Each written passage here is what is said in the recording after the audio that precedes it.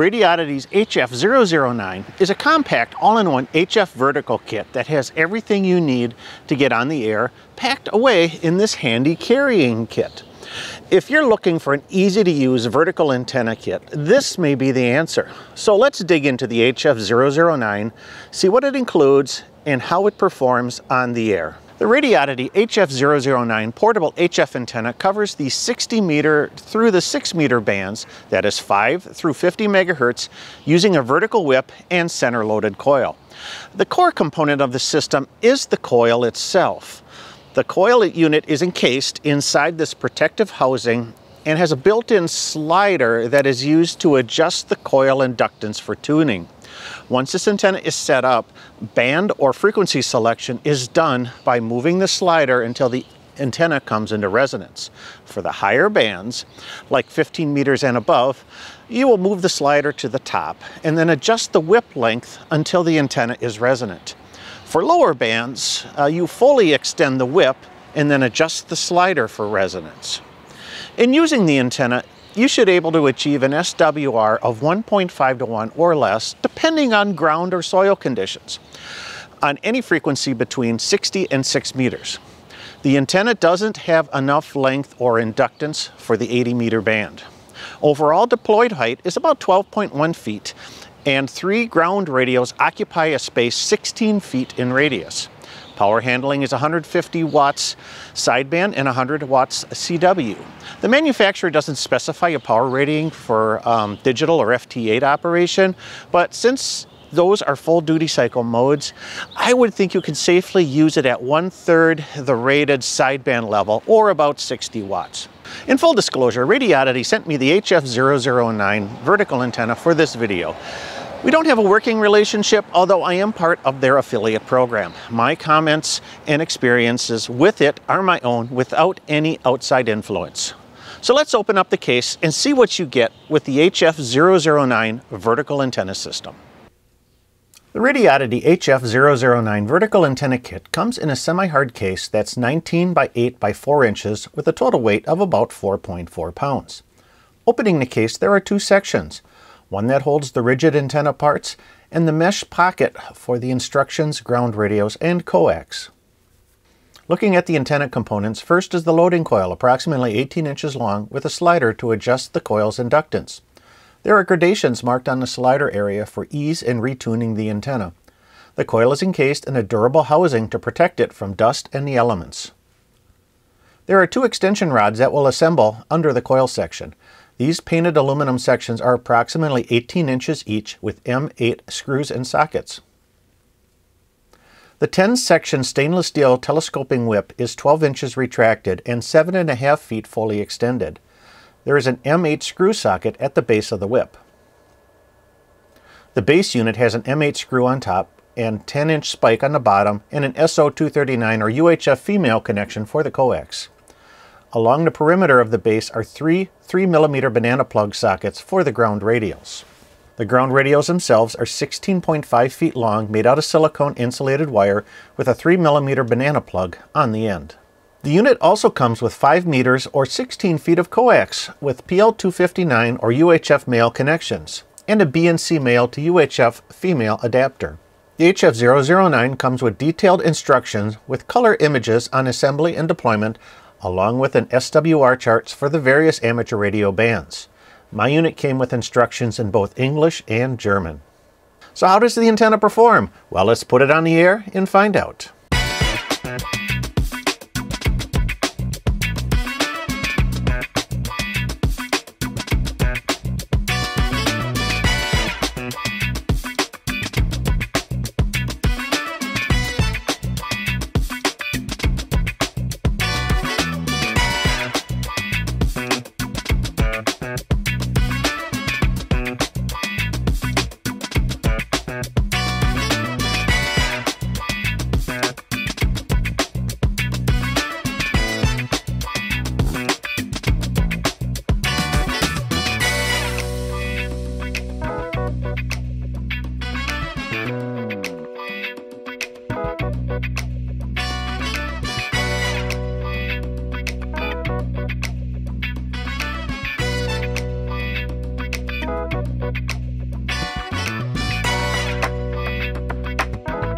So to adjust this antenna, uh, we just uh, manipulate the little slider right here and that changes the inductance in the coil section of the antenna that I assume is in this, this part right here. I had no problem uh, getting a good tune on both the 20 and the 40 meter bands uh, with this coil. Uh, the slider is really touchy though, uh, so it doesn't take a whole lot of movement to uh, change your, your tuning points. Now for bands above 18 megahertz, what it what the instructions recommend you do is to you can either move this slider up all the way for the least amount of inductance or remove this section completely and then that will let you get on to 15 meters and above. Um, I'm going to try tuning, let me see if I can get this tuned to the um, 17 meter band here quick. So here we go, the best I can do at this point in time is two to one. But uh, the cool thing is, is that my reactance is pretty much zero and um, the impedance dropped down to 25 ohms, which is typical for a, um, a vertical antenna. I would, you know what? I would run this two to with with the reactance at what it is. I'd run this. I'd run this at two to one, and I wouldn't really care a whole lot. I think it would. I think it would work just fine.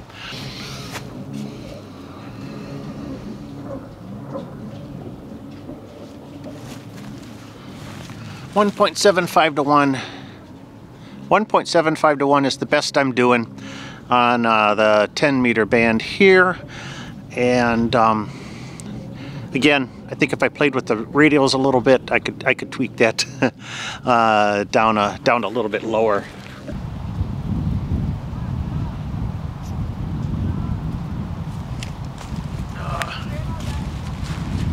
the best I can do on the 15 meter band is about 2 to 1, 2.2 to 1. I can't find any combination of whip and inductance that gets me much lower than that. I probably could tweak the radials a little bit, um, maybe try a different position, different location, um, but um, not getting anything otherwise, uh, not getting a good match otherwise on the 15 meter band.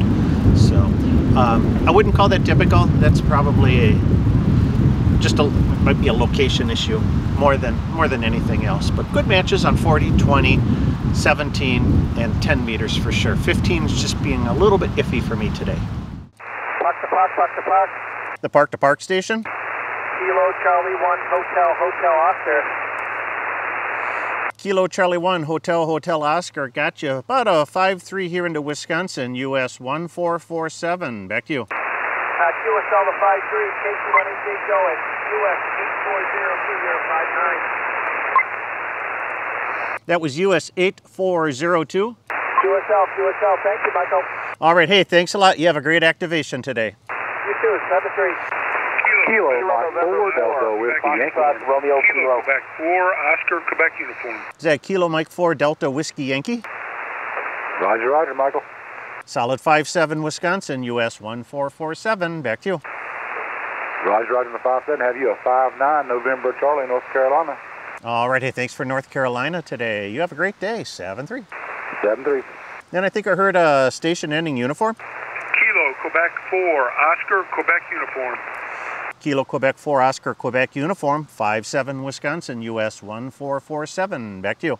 Roger, roger, the 5-7. I'll give you 5-7 as well, November Charlie. Over. All right, hey, thanks a lot for North Carolina today. You have a great day in 7-3. Kilo, Kilo Victor 5, Whiskey Bravo. Kilo Victor 5 Whiskey Bravo 5-9 Wisconsin, US 1447. Back to you. Again, again, didn't, who was that? Uh, Kilo Victor 5 Whiskey Bravo, you're 5-9 in the park, 5-9 in the park. Roger, thank you very much for that. Uh, your response got talked over. Anyway, you're 5'5 of 55. Uh, under these conditions, that's pretty good in Fort Worth, Texas. Roger, the Fort Worth, Texas. Yeah, band is uh, really, really acting strange again today, but uh, good copy. So thanks a lot for the contact. Roger, thanks for being out there. Yeah, the band reminds me of my first wife. 7-3. All right. Well, you take care. take it easy. Kilo Bravo 9, Victor Bravo Romeo, Parks on the air. Uh, Kierzan. I think it was a Kilo Juliet 5 Golf India Hotel. Roger, Roger. Curtis in Louisiana. You're 5'9 into Louisiana. QSL? All right. Hey, thanks for Louisiana. Yeah, you're coming back 5'3 into Wisconsin, US 1447. Back to you. Copy the 5'3 into Wisconsin. Um, uh, i follow your YouTube channel. You got some great stuff on that. All right. Hey, that's great to hear. I'm glad you enjoy the content. So uh, thanks a lot for the contact today. All right. Have a good one. U273 Kilo Bravo Niner Victor Bravo Romeo Parks on the air. Is it? Kilowatt Juliet 7 Papa Romeo Sierra. Kilo Juliet 7 Papa Romeo Sierra 5-3 into Wisconsin US 1447. Back to you. Roger, Roger. You're a 43, 43 into Whiskey Alpha, Washington State. What's the antenna of choice today? All right, hey, thanks a lot for Washington. Now, we're test driving a new antenna. Uh, video will probably be out next week. It's the Radioddity uh, HF009 uh, vertical. Kilo 3, Charlie Whiskey Papa. Kilo 3 Charlie Whiskey Papa got you about a 5-3 into Wisconsin, US 1447. Back to you. Uh, you're five six, five seven here in Western Pennsylvania. Uh, good to talk to you again, Mike. All right. Well, hey, thanks a lot for Western PA today. It's uh, yeah, band's a little up and down, so uh, thanks a lot for the contact.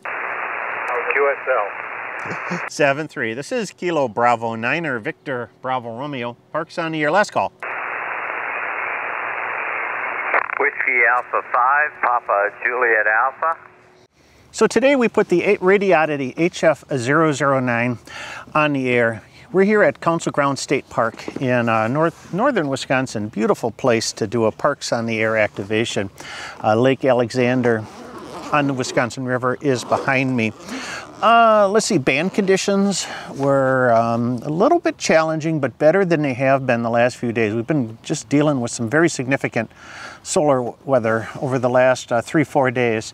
We're on the tail end of it now, and um, it was really apparent in the um, in the signals that we were getting. Just a lot of fades up and down, but still, as vertical antennas go, I, I think the HF009 worked quite well in the situation. It handled it. It handled it great. Uh, there's some things that I really like about this antenna, and there's just things I just want to kind of point out. Uh, first off, I this is a beautiful case. Uh, I like how everything is kind of packed up in this case. Um, makes for an antenna system that is quite portable. you know, if you're if you're looking for things that um, just you know fit fit well together, don't take up a lot of space and or or mess in your vehicle, I think you know this is definitely going to be a great choice for that. Uh, the way it's constructed is that uh, the loading coil is it's a center loaded antenna and that's that's good for a couple of things. One is it gives you a little bit more bandwidth and two, uh, moving the inductance coil from uh, away from the uh, feed point and getting it up further up into the radiator does increase the performance a bit. Uh, so center loading is usually uh, quite, you know, is, is, is a good thing to, to kind of to kind of work towards. Um, you get yeah, so you get the center loaded coil. You get two you get two extension rods uh, that go below it, and then you, the whip that goes above it. Uh, this whip is stainless steel. It is um, it's lightweight. It's more substantial than other whips uh, from uh, Chinese manufacturers that I've seen. Um, on some of those whips, the top section gets to be really thin and uh, uh and worrisome in that it's going to bend. Uh, these elements are a little bit they they they've they got a little a little bit more size to them. Um, it still feels lightweight, but it's definitely um, a good. I think it's it's it's well well constructed. Uh, the spike is not very long. It's thin. It, it, it, pushes into the ground uh, very easily. So there's, there's that. Um, comes with three uh, uh, ground radials uh, with uh, with uh, banana plugs on on the bottom of the of the feed point. Um, the radials are made out of silicon wire, so they do um, you know they they do spread out uh, very easily. I, I, enjoy silicon wire uh, from um, in my in my antenna systems, so uh, a nice design element there. And um, when you purchase the kit, it also comes with coax too. Get a short section of coax, so you got everything you need to get on. Well, they say from the 60 meter band all the way up to the six meter band. Uh, when I tested this antenna, I got good matches on 40, 20, and 10 meters uh, so-so match on the 17 meter band and I was having a real tough time getting a good match on the 15 meter band. I just could not find that sweet spot on 15 meters. I've run in, into that with other vertical antennas, so it doesn't concern me a whole lot, but um, still that's just uh, something that I found a little bit challenging uh, with this one. I will have to, I'll have to test this antenna in maybe another location or something like that to see if if it was a location thing or if it's just the way in which this antenna is designed. I think part of the problem is, is that the, uh, with the length of the whip and, uh, uh, and, and, and, and, the rest of the components, there's just, uh, you, you um, when you move the loading coil all the way up to the top, uh, you're pretty much at the uh, 17 meter band. and you're now you're at the point where if you want to make this work in 15, you got to start decreasing whip size. Um, removing this coil completely wasn't really the answer. So, uh, and that's the challenge I was I was coming I was coming at, you know, just to try to find that sweet spot on 15 meters. Uh, the only other thing that really concerns me is with the mounting spike here. Um, one of the one of the concerns I have is that um, in some parks, in some states, you're you are either you're not allowed to put stakes into the ground. This might be a concern for that. In other times, if I wanted to use this up in, in you know during the winter, uh, you know I'm not going to be able to get a I'm not going to be able to get a stake into the ground. Or if I'm in an area that has very hard compacted uh, earth, um, or I'm in a parking lot, or somewhere where I can't get this this spike in the ground. It is, you know, it's it's going to work in most soil conditions, but if it's hard, rocky, um, you know, you're, you're, thinking thinking like uh, desert playa, or um, or if you're out in a asphalt, asphalt concrete jungle or something like that, that's going to be a problem. And I'm going to have to think of some way in which this could be modified in order to use a, a, some kind of a stand or base that didn't need to be uh, poked into the ground. So that was one thing. I don't know if I could get this unscrewed or not. I didn't try um, messing with it to see if if, if it could be, if we could remove the spike or not. Uh, one other thing about it is all of these screw connections are metric, so if you want to mix and match components with other antenna systems, it's not going to happen because these are M8 metric screws and not standard US screws. Um, if you're, you know, for my um, European or Asian viewers, that may not be an issue for you because you're you're on that you're on that metric system. But for the U.S. audience, that the core of my my viewership is, uh, be concerned about that. These are all metric. So um, otherwise, it works. It works really well, and I, have got no complaints. I'm gonna, I'll probably um, give this a few more spins, you know, to see um, before I, I, I, cast any any kind of final judgment on it. But um, otherwise, it's I think it's a good compact portable vertical antenna system if you're looking for something that folds up into a case. Uh, you don't mind using a ground spike for all of your, your, your, your deployments. I think you know, this is going to be something that might work for you. So uh, links to the Radioddity HF008 can be found in the video description uh, down below. I do have an affiliate link down there. Uh, you can save a little bit of money and helps the channel if you purchase through that link. Um, otherwise, uh, questions, comments about the Radioddity, Radioddity HF009, leave them uh, down in, uh, in the video just in the comments down below. Love to hear what you think about this antenna. Uh, otherwise, uh, thanks for watching. I'm Michael, KB9VBR. You have a great day and 7-3.